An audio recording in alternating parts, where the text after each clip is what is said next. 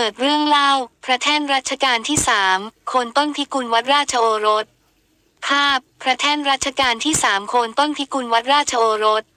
ใครที่ไปไหว้พระหรือเที่ยวชมความงามของศิลปกรรมที่วัดราชโอรสารามราชวรวิหาร อาจเคยเห็น พระแท่นรัชกาลที่สามซึ่งอยู่โคนต้นพิกุลกันบ้างพระแท่นดังกล่าวมีความสำคัญในหน้าประวัติศาสตร์อย่างไร วัดเก่าแก่สมัยกรุงศรีอยุธยา วัดราชโอรสเป็นวัดของชุมชนเก่าแก่ตั้งแต่สมัยกรุงศรีอยุธยา ชาวบ้านเรียกกันทั่วไปว่า วัดจอมทอง แปลว่ามียอดเป็นสีทอง ด้วยทองคำเปลว หรือเป็นทองก็ได้เช่นหุ้มด้วยทองคำทองแดงหรือทองสำริดเมื่อครั้งพระบาทสมเด็จพระนั่งเกล้าเจ้าอยู่หัว ทรงดำรงพระยศเป็นกรมหมื่นเจษฎาบดินพระชันษาขณะนั้นราว 29-30 ปีทรงปฏิสังขรณ์ทั้งวัดเริ่มตั้งแต่พศ 2360 กระทั่งสำเร็จฉลองวัดในพศ 2374 ซึ่งเป็นเวลาที่กรมหมื่นเจษฎาบดินทร์ทรงขึ้นครองราชเป็นรัชกาลที่สามแล้ว ภาพ แผนที่กรุงเทพมหานครสมัยรัชกาลที่สาม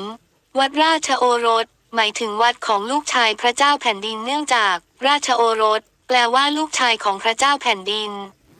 เมื่อพระองค์ทรงปฏิสังขรณ์วัดนี้ จึงทรงให้นามวัดอย่างเป็นทางการว่า วัดราชโอรส เพราะพระองค์ทรงเป็นพระราชโอรสในพระบาทสมเด็จพระพุทธเลิศหล้านภาลัยนั่นเอง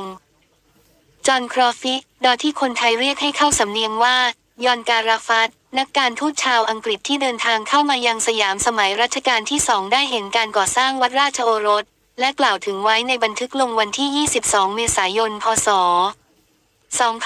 2365 ว่า ตามบรรดาวัดที่เราได้เห็นมาแล้วในกรุงเทพมหานคร ไม่มีวัดไหนจะทำด้วยฝีมือประณีตงดงามเท่าวัดนี้ ขณะที่เราไปนั้นวัดกำลังก่อสร้างอยู่ เราได้มีโอกาสเห็นลำดับแห่งการก่อสร้าง เช่น องค์พระประธานก็เห็นหล่อขึ้นแล้วแต่บางส่วนวางเรียงรายอยู่ในโรงงานแห่งหนึ่ง เราไว้ประกอบเมื่อภายหลังได้ทราบว่าโลหะที่ใช้ในการนี้คือดีบุกสังกะสีทองแดงเจือด้วยธาตุอื่น ๆ อีกบ้างโดยไม่มีส่วนที่แน่นอน เพราะจักเป็นการยากอยู่บ้างที่จะกำหนดส่วนาพ พระบรมราชานุสาวรีย์พระบาทสมเด็จพระนั่งเกล้าเจ้าอยู่หัว พระมหาเจษฎาราชเจ้านลันพลับพลามหาเจษฎาบดิน พระแท่นรัชกาลที่สามมีคำบอกเล่าเกี่ยวกับพระแท่นที่ประทับ ที่โคนต้นพิกุล บริเวณโบสถ์วัดราชโอรสเรื่องหนึ่งว่า ในบริเวณกำแพงแก้วที่ลานมุมซ้ายด้านหน้าโบสถ์มีต้นพิกุลใหญ่ต้นหนึ่งเล่ากันมาว่าเมื่อรัชกาลที่สามครั้งยังทรงเป็นกรมหมื่นเจษฎาบดิน เมื่อเสด็จมาคุมงานก่อสร้างหรือตรวจงานก่อสร้าง หรือเสด็จประพาสวัดนี้จะเสด็จประทับบนพระแท่นหินที่วางอยู่โคนต้นพิกุลนี้เป็นประจำ พระองค์เคยมีรับสั่งว่า ถ้าข้าตายแล้วข้าจะมาอยู่ที่ต้นพิกุลนี้ พระบาทสมเด็จพระจุลจอมเกล้าเจ้าอยู่หัว เคยเสด็จพระราชดำเนินไปยังต้นพิกุลต้นดังกล่าว ปรากฏพระราชหัตถเลขาในจดหมายเหตุพระราชกิจรายวันตอนหนึ่ง ในคราวเสด็จพระราชดำเนินมาถวายผ้าพระกฐินที่วัดราชโอรสเมื่อพศ 2427 ว่า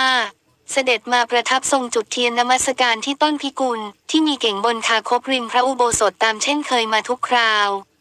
เดิมทีที่ต้นพิกุลนี้มีเก่งและใบสีทำด้นดินเผาเคลือบจากเมืองจีนตั้งอยู่ แต่พังเสียเมื่อพศ